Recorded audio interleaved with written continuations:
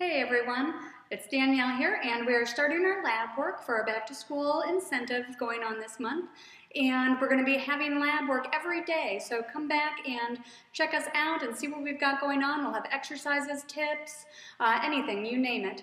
And today it's very simple. I know you've probably all had a great weekend, maybe had a really great time. So I want you to all have eight eight ounce glasses of water today and see how much better you feel after the day is done. So check us out tomorrow and see what we've got coming then.